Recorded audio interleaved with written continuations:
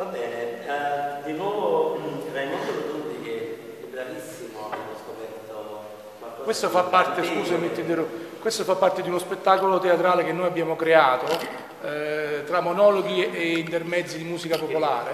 Che portavi in giro, dura quasi due ore.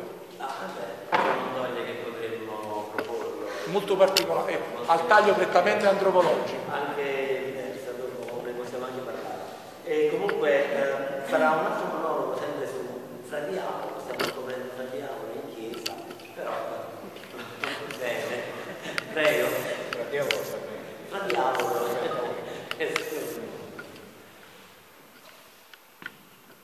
C'est fini, frère diavolo, dommage. Asci me ne disse francese. Loro mi hanno. Che Saria dice, è finita fra diavolo, mi dispiace. Gli dispiace, a esse gli dispiace. I suoi segreti tutti quelli che sono fatti passare. Sette anni fa, pure stavolta mica c'è niente tanta liscia. L'altra volta sono venuta a scappare, stavolta è venuta, eh? alla fine hanno venciuta, però non è che hanno venciuta tanto facile. Alla fine mi hanno acchiappato. Che sei? E oggi, 11 novembre 1806, è arrivata l'ora mia. Dopo che alla piazza già mi aspetta i trabucchi. Che te ne sa dice? Te ne sa dice che non me ne frega niente, ma è vero. A chi gli piace un Cristo? A nessuno gli piace Cristo. Manca a me. Però quando tocca, tocca. La cosa che veramente mi dispiace più di tutte è che la sua moglie ma il tuo figlio è piccolo. Però se il Padre può uscire, sia fatta la volontà sua. Tanto alla fine si sa che chi in in sempre, se moglie e la figlia tiene a campare, campano o con me o senza di me. La cosa che mi dà fastidio più di tutte è tutta la cerimonia che fanno.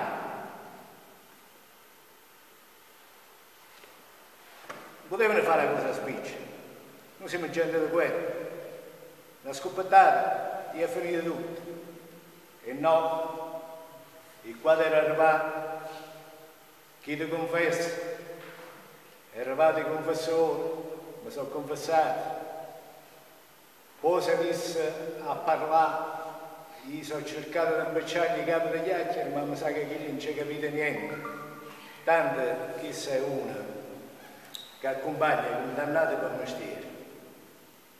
O soffre a diavolo, o so San Francesco, vista è la stessa cosa.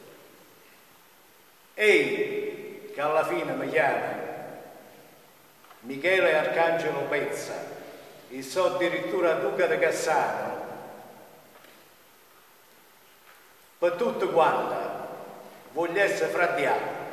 Io sono stato fra diavolo per tutta la vita e sono fra diavolo pure morto, punto di morte.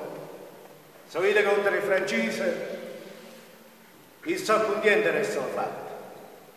Ora mi erano fatto pure la proposta di passare che io, che stesse grado che teneva, grado di colonnello, detto no, l'uomo del solo, quando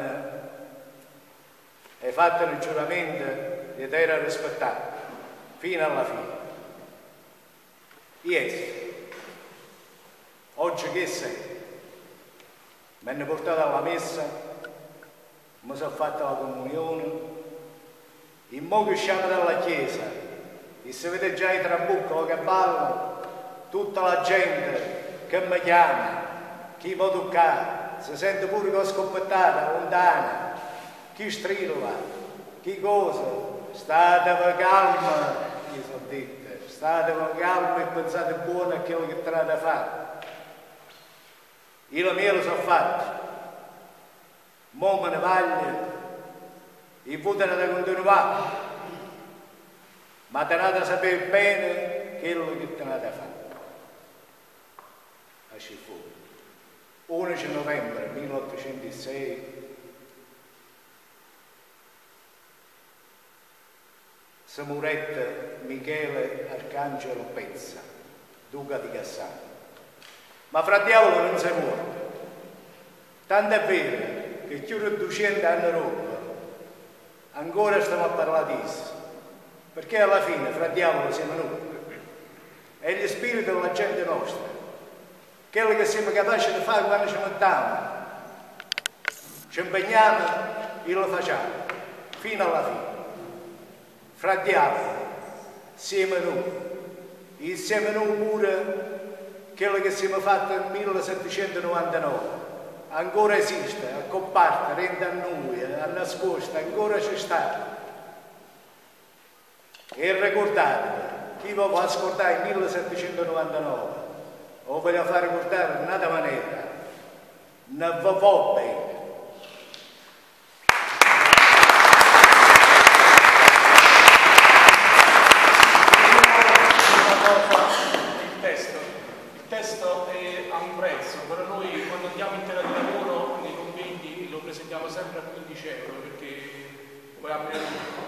perché è giusto sia così, fra noi insomma non possiamo fare speculazioni.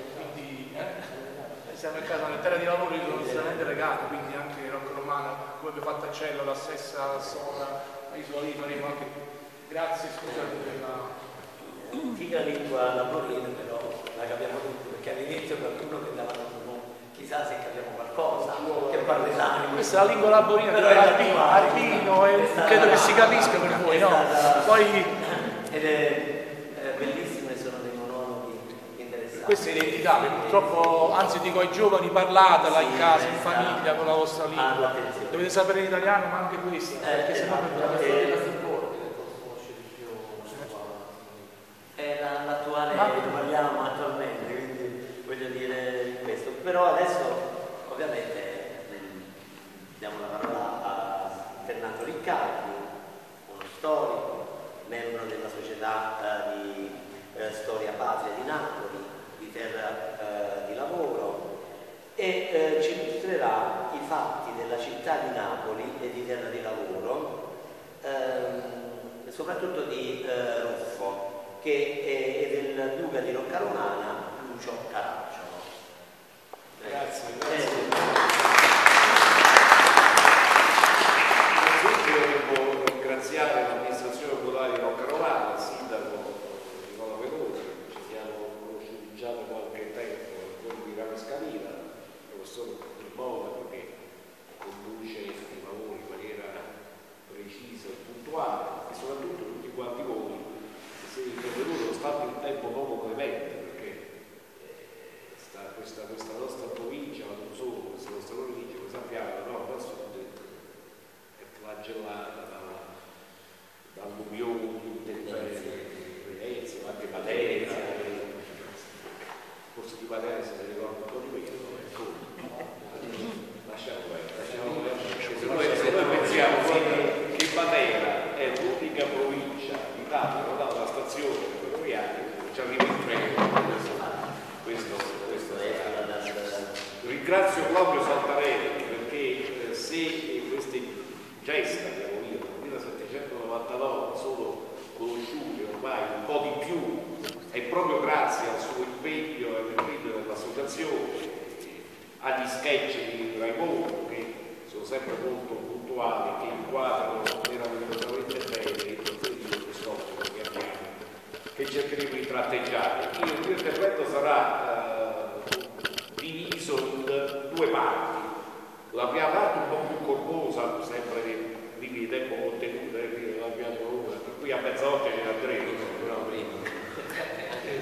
e poi l'ultimo, l'ultimo pezzo di Dado parleremo proprio del duca di Rocca Claudio già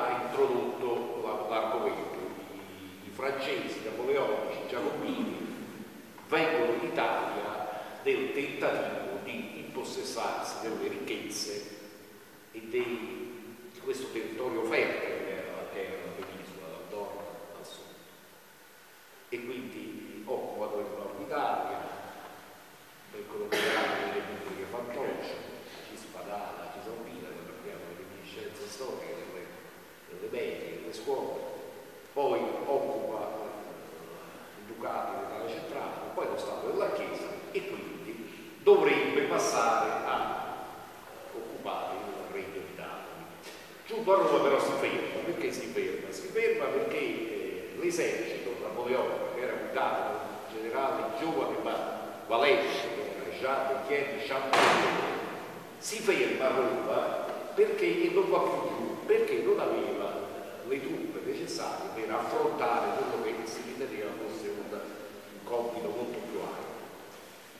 A questo punto il re di, di che era Ferdinando IV di Borbone, decide di, come dire, di precorrere gli eventi, temendo per l'invasione del regno, arma il suo esercito e va all'assalto dei francesi e giacobini che stavano a Roma perché voleva restituire il, lo Stato pontificio al suo legittimo governante che era il Papa. Arma questo esercito abbastanza numeroso, oltre 45.000 uomini, ha però il torto di affidarlo alla persona sbagliata e qui diciamo che il Borbone spesso volentieri le scelte di, di, di, di strategia militare, di individuazione dei campi militari non sono molto fortunate, mettiamo, mettiamole così. Perché scelgono come comandante in campo generale austriaco dal cognome altisonante, Karl Bach von Bach. Già a sentire il nome, sì, comunque un nome guarda quei film di Fantozzi, visto che tutto. Effettivamente non era una figura fantoziana questo Karl Bach, perché era un grande esperto, un grande teorico della, della bellica e aveva l'unico, l'unico vero, non aveva combattuto la battaglia, aveva soltanto studiato l'arte, l'arte della guerra teoricamente, ma non si era mai cimentato sul campo di battaglia. Fatto sta che eh, nel dicembre del 1798 eh, l'armata napoleonica passa il confine, oltrepassa il Niri, eh, si introduce lo Stato pontificio, i francesi che erano in numero infinitamente minore si ritirano a nord di Roma e che Mach e lo stesso dorato che Ferdinando IV entrano trionfalmente a Roma. E qui comincia il guardo, perché lui aveva diviso in tre colonne il suo esercito, Championnet, che invece l'arte militare la conosceva proprio sul campo, sconfigge, eh, proprio approfittando di questa divisione eccessiva dell'esercito napoletano, sconfigge a più riprese a nord di Roma l'esercito napoletano che improvvisamente si si rompe e si dà alla fuga, si dà alla fuga, quindi torna dietro verso, verso il, il, il Liri, oltrepassa il confine, gettano gli armamenti nel fiume per, eh, per ritirarsi verso Capua dove, dove speravano di mettere il pillaggio a questa avanzata, praticamente l'esercito, comandato da questo, da questo Carlo Marc, non dà una grande prova di sé. Eh, il re Ferdinando IV, sentendosi in pericolo, sempre rappresentate dalla legittima monarchia borbonica, decide improvvisamente di, eh, di, andare, di rifugiarsi a Palermo e quindi attraverso le navi dell'ammiraglio Nelson eh, viene con tutta la, principessa, con la regina eh, e si rifugia, si rifugia a Palermo, lasciando il regno di Napoli ad un vicario generale che era un tal Pigliatelli, il quale Pigliatelli fa una cosa ancora peggiore perché l'11 eh, a Sparadisi, qui vicino, eh, stipula un armistizio con Championnet che frattempo aveva superato San Germano, Sile, marciava verso Capua, un armistizio che praticamente consegna il regno di Napoli ai, ai francesi. E qui poi avrà una grande parte il duca di Roccarovana, poi, poi lo vedremo successivamente. Eh, dopo un paio di giorni, siccome le clausole della giustizia erano particolarmente onerose anche a livello di contribuzioni, e qui i francesi, i giacobini erano paesi a chiedere contribuzioni, sa qualcosa, la veneranda abbazia di Monte Cassino che venne letteralmente spogliata dai vari generali francesi che passavano di tanto in tanto, perché i giacobini avanzavano come delle popolazioni barbari, non erano un era, ogni generale aveva il suo reggimento, chiamavano così, e quindi quello che veniva dopo andava sempre a chiedere, a bussare i soldi, incurante di quello che aveva fatto il precedente. Fatto sta che quando eh, il governo napoletano, ormai ridotto ottemperare alle clausole armistiziali, Championnet prende il destro per rompere l'armistizio e di procedere alla, alla, alla conquista di Napoli. Ormai la Puglia non c'era più, in particolare non c'era più, andate dalle porte di Napoli però alla sfortuna di battersi contro i Lazzi. I Lazzi erano, erano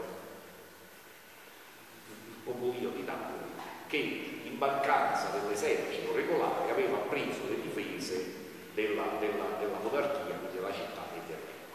Combattono per due giorni una lotta violentissima, soprattutto al ponte della Maddalena e a Porta Capuana, cadono inoltre 10.000 di Lazzari e saranno elogiati allo stesso Championnet che elogia, lo stesso Thibault elogia questi generali francesi, elogia questi Lazzari che combattevano come fossero dei diavoli, come se fossero indemoniati. Quanto sta però, dopo un paio di giorni, la resistenza di questi poveretti, in capo a decine di migliaia, proprio quei posti che ho detto prima, viene superata e Championnet può entrare a Napoli. Il giorno prima, questo succede il 23, se vado male, il giorno prima, il 22 gennaio, un gruppo di cosiddetti patrioti napoletani, eh, sentendosi ormai al sicuro, perché le truppe francesi erano ancora per le porte di Napoli, eh, proclamano la Repubblica Napoletana una e indipendenza. Attenzione, non è una partenopea dove si scrive e si sente spesso. Repubblica Napoletana. Il primo presidente, purtroppo dico io, fu un nostro conterraneo, Car Carlo Lambert, che era di teatro, quindi qua, proprio qua vicino. Tra altre cose, questi patrioti napoletani si macchieranno anche di un'onta, che è quella di sparare da Forte Sant'Elmo Castello dell'Oro di sparare cannonate sui lazzari che resistevano e cercavano di impedire il, eh, la resistenza, quindi il passaggio dei francesi. Nel frattempo, quindi, Napoli diventa repubblicana e eh, nel frattempo in Sicilia si pensava come arginare questa marea montante dei giacobini, perché si credeva che dopo aver conquistato il regno, in mancanza di, di, una resistenza, prima o poi si potesse arrivare anche in Sicilia per mettere fine proprio alla dinastia borbonica. E mentre il re Ferdinando IV, soprattutto la regina Maria Carolina, assieme, assieme ad Acto, no, cercava di, di, di, munire le coste della Sicilia per impedire che i giacobini potessero arrivare, a Conte, a Palermo, si presenta, io quello che chiamo, uno strato personaggio di rosso vestito che era un cardinale, di, ecco perché mi rosso vestito, perché era un cardinale di Santa Romana e si chiamava Fabrizio Ruffo, era un cardinale calabrese, che si era molto distinto negli anni precedenti, sia a servizio di Papa Pio VI a Roma,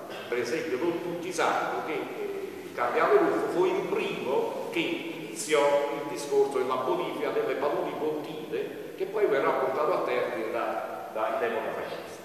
Era una persona, non era quella leggenda nera che viene, che viene descritta nel, nel, nel, dei, dei, dei, libri, dei, libri, di storia, non era un diavolo, era, era un uomo in carne ed forse più portato per gli affari di governo e forse militari che non per quelli della cura delle armi, però questo è un altro ragionamento. Fatto sta che questo cardinale Ruffo, che in Calabria aveva molta, molta ascendenza anche nel mezzo della sua famiglia, una famiglia molto potente, famiglia calabrese, propone alla, alla, alla Corte Reggia di, eh, dice perché dobbiamo aspettare che ci attacchi in Sicilia? Attacchiamo tutti, quindi gioca decisamente all'attacco, per usare un termine calcistico. Inizialmente vede, vede eh, accolto con grande scetticismo, dice ma sì, tu vuoi andare all'attacco, ma con quale esercito? L'esercito non c'è più. Dice non mi preoccupare, io comincerò a radunare un mio esercito quasi personale, cominciando dai miei fedeli calabri c'è un po' di scetticismo della, della, della, della corte, soprattutto e Nelson, non vedono in buon occhio questo personaggio spuntato un po' di funghi dopo la pioggerella mutale.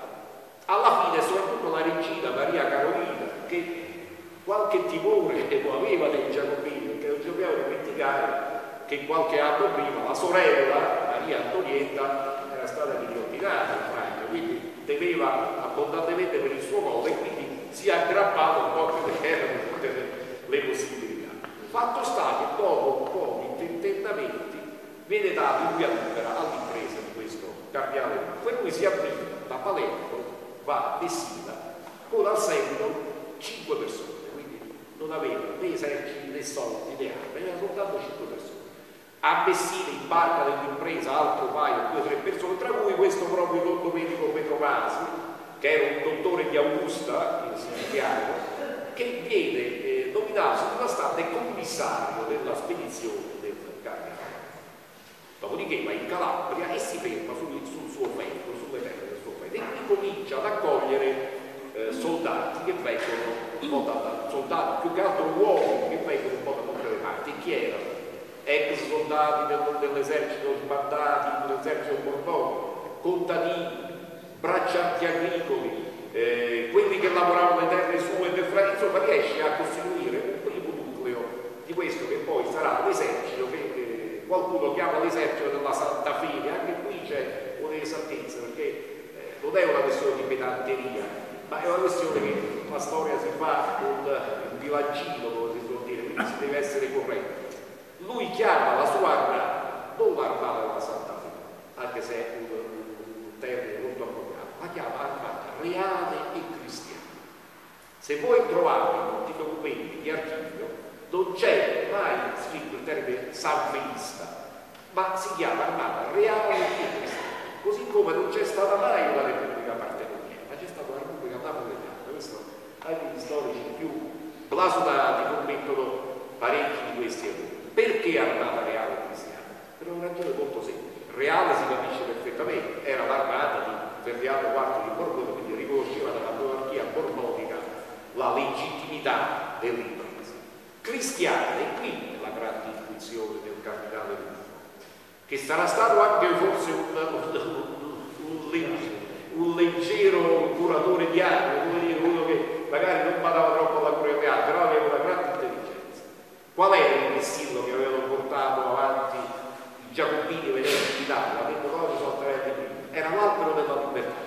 Che cos'era l'albero della libertà? Era una pianta solamente di ulivo, ma anche di pesco, di bambino, a seconda di quello che si trovava in loco, che veniva messa al posto della croce. Al di sotto dell'albero della libertà, però perché questi erano miscredenti, atei, neanche di vita, al sotto dell'albero della libertà ci si sposava, si univa il matrimonio, si banchettava, si faceva l'amore, si cantava, ci si ubriacava, e allora Ruffo che cosa pensa? Io devo contrapporre all'albero della libertà, un simbolo pagano dell'eccellenza, il simbolo cristiano dell'eccellenza ed era la croce. E si riviene la mattina è già finita. Quando il cardinale Ruffo capisce che lui deve innalzare i valori del cristianesimo e da contrapporre a quelli del paganesimo, di fatto ha vinto, perché noi sappiamo benissimo le nostre terre, la nostra gente, la cultura religiosa profondissima delle, delle nostre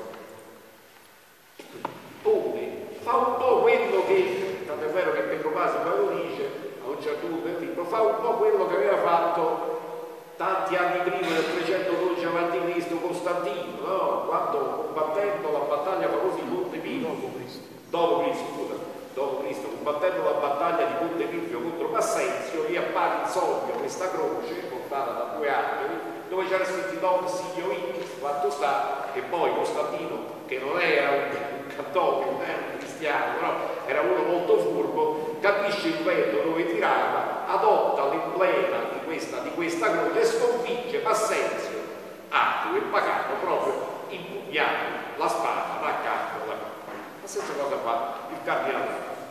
Nel frattempo la sua massa cresceva, il suo esercito cresceva, fino a raggiungere 20.000 20 quando raggiunge un numero accettabile di eh, soldati, o meglio dire di uomini, non erano tutti soldati, decide di partire. Siamo alla metà di febbraio.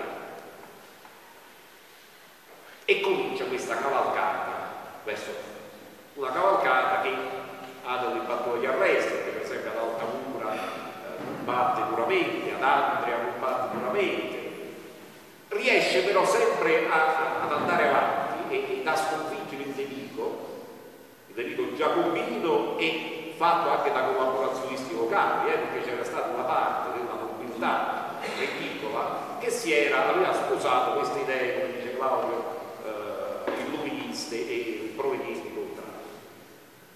Riesce però sempre a sconfiggere eh, i tentativi di, di blocco perché spesso e volentieri i nemici, quelli che erano nemici, passano dalle sue schiere, quindi abbandonano il campo giacobino e passano. Fatto sta che dopo aver superato anche parecchie difficoltà logistiche, perché quello di, di, di, del cardinale Ruffo non era un vero e proprio esercito, ma era un'armata un po' raccogliticcia, fatta di corpi franchi, fatta delle cosiddette truppe a bassa, che erano, che erano quelle truppe a cui, cui è detto un grande, grande, grande come dire, un grande, una grande linfa anche eh, i cosiddetti, tra virgolette, briganti, Fratiano, anche Sciarpa, Salomone, Nera, Proprio, insomma erano tutte persone che non erano militari di professioni, ma che in virtù del loro blasone, che in virtù del loro, del loro, del, del, del loro ardimento, diciamo così, erano riusciti a mettere insieme queste truppe a bassa, questo corpo di volontari, poi confluirono tutte nell'armata, chiamiamola San Felice del Cardinale. Fatto sta che il 13 di eh, giugno del 1799 l'armata del cardinale Ruffo arriva alle porte d'Italia. C'è una battaglia violentissima al ponte della Maddalena dove muore il generale Wirz che era il comandante dell'armata repubblicana uno che aveva fatto il salto della guardia perché era un colonnello dell'esercito borbonico era passato per il pagano dell'armata repubblicana, fatto sta che il 13 di, di giugno, dopo aver sconfitto i repubblicani appunto della Maddalena, il cardinale Ruffo fa l'ingresso, l'ingresso in città. E qui c'è una storiella curiosa, secondo me destituita di fondamento, però che mi piace sempre, sempre raccontare, siccome il 13 giugno è il giorno di Sant'Antonio, e siccome quando arrivarono i francesi a Napoli il 23 di gennaio prima cosa che fece Championnet, perché pur essendo un ateo conosceva, riconosceva il valore della tradizione, quindi si recò a, a San Gennaro e San Gennaro fece il miracolo, sciolse il sacro San Gennaro, allora i napoletani sono sempre molto fermi di fantasia, declassarono San Gennaro perché era figlio giacobino e elevarono Sant'Antonio che aveva fatto il miracolo di restituire, è una storiella, eh, per tema come difficile inventare. Eh, però fatto sta che il 13 di, di, di giugno, eh, e infatti c'è una bella canzone che si chiama Non vedi il campo di San Felice, in cui si parla proprio il 13 di giugno come, come giorno glorioso della, della riconquista del, del ecco, Napoli, i castelli ancora sono nelle mani dei, dei francesi, il castello dell'Ox, San Pedro, San Martino ed, altri, Qualche decina di giorni dopo si riuscirà attraverso delle trattative a far sfoggiare eh, i francesi dalle, dalle, dalle, dai castelli, quindi Napoli viene conquistata, lo stesso re Ferdinando eh, si trasferisce alla Sicilia, però non viene a Napoli perché ha ancora un po' di soldi e quindi si ferma a Ischia sulle navi del Nelson, il regno era stato conquistato, Ruffo aveva compiuto la sua mirabolante impresa di cui si parla poco di, di teste, perché Ruffo anche uno che appartiene ai cosiddetti alla schiera di quelli che la storia considera degli sconfitti, dei perdenti, e per questo se ne parla poco, perché se fosse stato diversamente forse le cose sarebbero andate. Io faccio soltanto una, una, un inciso per farvi capire la differenza tra quello che succede da noi e quello che succede. Si parlava della pandemia.